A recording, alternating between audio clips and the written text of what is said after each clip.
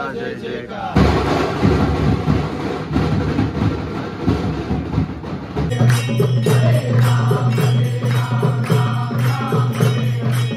Guys welcome back to my new vlog आज है दोस्तों गणेश चतुर्थी। तो इस गणेश चतुर्थी के स्पेशल ओकेशन पे सबसे पहले तो आप सबको हैप्पी गणेश चतुर्थी। मम्मी ने आज इस स्पेशल ओकेशन पे ना मोदक बनाया है। उकड़ीद से मोदक, जो मराठी में बोलते हैं, चावल के आटे से बनते हैं और उसको स्टीम करके बनाते हैं। ये देखिए। ये मंदिर में हमने फूल वूल सब अच्छे से रख दिया है। और ये मोदक है जो मम्मी हर साल बनाती है गणेश चतुर्थी के दिन स्पेशली गणेश जी को चढ़ाने के लिए। अभी नाश्ता बनेगा फिर हम नाश्ता खाएँगे और फिर हम जाएँगे सोसाइटी की गणपति लेने जो हमारी सोसाइटी में गणपति बैठती है। ग्यारह बजे जाएँगे मूर्ति लेने और सानवी भी आएगी हमारे साथ। सानवी क्या कर रहे हो? किसी ड्रॉर कौन खोला? ड्रॉर बंद करो भाई। अंदर बहुत सारे शार्प चीज़ें हैं ना। हाय सानू सानू से हेलो सानवी से हेलो गणपति बप्पा को जय जय कर दो जय गणपति बप्पा ओ मेरे बाबू तो गैस गणेश जी को भी मोदक चढ़ चुका है हैं हाँ मोदक गणेश जी को मोदक चढ़ चुका है तो गैस मम्मी बोल रही है सबसे पहला मोदक हमारी सानवी को मिलेगा। करती है उसका टेस्ट कैसा है की गंदी है ना ये ले तेरी बेटी का उठा तो गाइस टेस्ट करते हैं, मोदक का टेस्ट कैसे, वैसे मम्मी हर साल बनाती है तो मुझे पता है मम्मी अच्छा ही बनाती है। खा लेते हैं। तो बहुत टेस्टी बना। इसकी जो अंदर की फीलिंग होती है ना, मोदक की, जिसको नहीं पता, मैं उसके लिए बता रहा हूँ। अंदर की मोदक की जो फीलिंग होती है, वो गुड़ और नारियल से बनती है। नारियल को घीसते हैं ग्रेट करते हैं, और उसमें गुड़ पिघलाते हैं। थोड़े बहुत ड्राई फ्रूट डालती है मम्मी। और फिर चावल के आटे को, चावल के आटे को रोटी बना के उसमें फिलिंग करके मोदक का शेप देते हैं। ऐसे बनते हैं उखड़ी से मोदक। ऐसे बनते हैं उखड़ी से मोदक। तो गाइस एक और मोदक ले लेता हूँ। इसमें इलायची का फ्लेवर और जायफल भी मम्मी घिस कर डालती है। तो दो इसमें मेन इंग्रेडिएंट्स वो भी है। अरे यार पूरा खा लिया। तो गाइस हमारा ब्रेकफास्ट हो गया रेडी आज ब्रेकफास्ट में पोहा. तो चलो फटाफट से पोहा खा लेते हैं. तो गाइस यहाँ पे रंगोली भी बन चुकी है. सोसाइटी की लेडीज़ ने सारा रंगोली बना के रखा हुआ है, देखिए. और बस थोड़ी देर में हम लोग मूर्ति लेने जाएँगे. तो गाइस मंडप भी सज चुका है. मंडप के यहाँ पे भी रंगोली लगाई आप देख सकते हो. तो गाइस यहाँ पे हमारी गणपति की मूर्ति है. आप देख रहे हो कितनी बड़ी मूर्ति है ये. अपनी गणपति, अपनी मूर्ति कहाँ पे? अच्छा।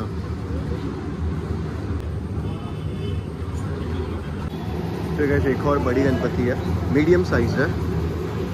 इससे तो कम से कम बहुत छोटी है ये देखिए एक और मूर्ति यहाँ पे।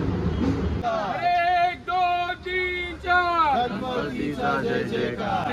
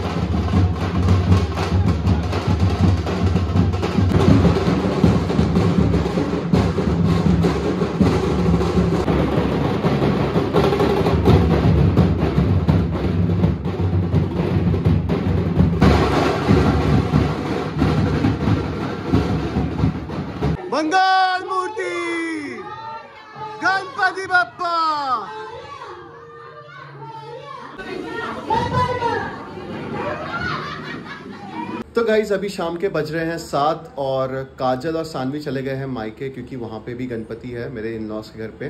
तो काजल वहाँ पे गए जा रखी है।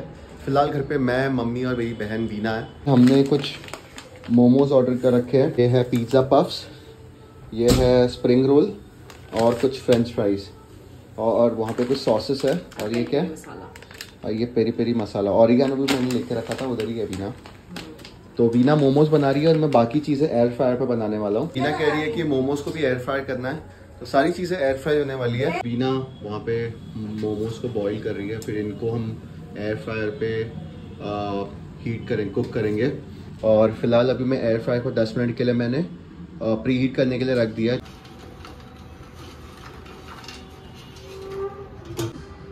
है हल्के से वीना ने इनको बॉईल करके रखा हुआ था। फ्राइज के टेस्ट को और ज़्यादा निखारने के लिए हम लोग इसमें सॉल्ट नहीं डाल रहे पेरी पेरी स्प्रिंकल कर रहे हैं। बहुत स्ट्रॉन्ग है बहुत बहुत जोरदार बहुत जोरदार।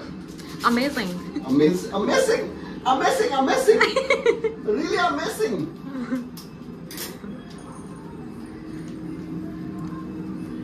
Guys कल है ना? किसी के तो धुआँ निकलने वाला है आग निकलेगा।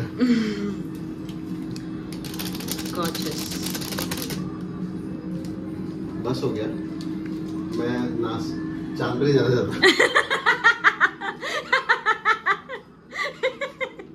मुझे लगता दो बस हो गया। तीसरा डालेंगे तो चाँद पे पहुँच एक बार खा के तो बता। तू बता। तू बता खा के ऐसा पूरा पेरी पेरी डिप कर उस पे। भाई ने भी इसमें थोड़ा सॉल्ट डाल दिया है। तो इससे हम धरती पे रहेंगे।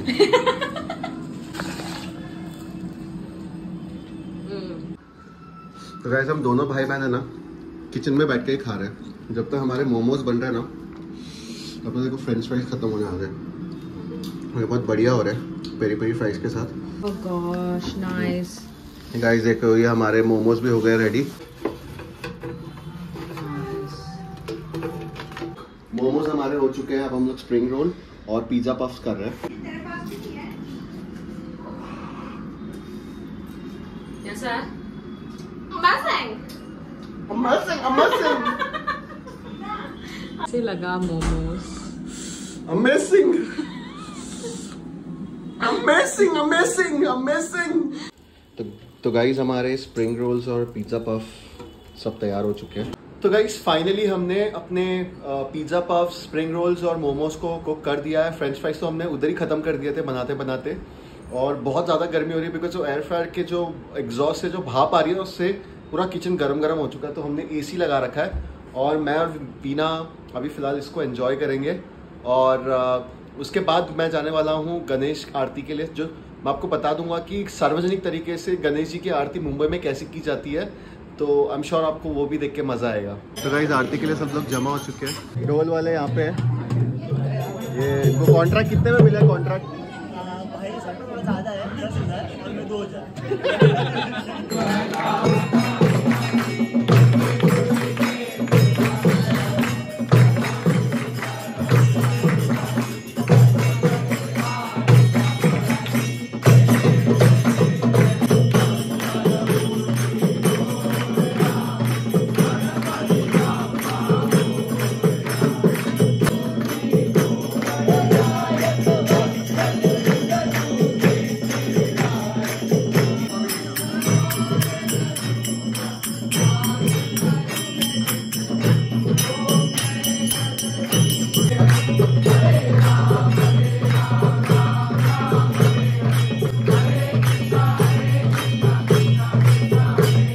गाइज़ आई एम श्योर आपको आरती सेशन में मज़ा आया होगा।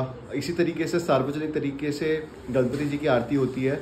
और ये अगले पाँच दिन तक होने वाला बिकॉज़ पाँच दिन की गणपति बैठी है हमारे सोसाइटी में। तो मुझे तो काफ़ी मज़ा आया, काफ़ी रिलैक्स फील होता है, इतने अच्छी डिवाइन आरती के बाद। तो आई एम श्योर आपको ये आज का व्लॉग पसंद आया होगा। पसंद आया होगा तो please like share and subscribe ज़रूर कीजिएगा। इस ब्लॉग को मैं यहीं पे एंड करता हूँ। मिलते हैं अपने अगले ब्लॉग पे। तब तक के लिए सी या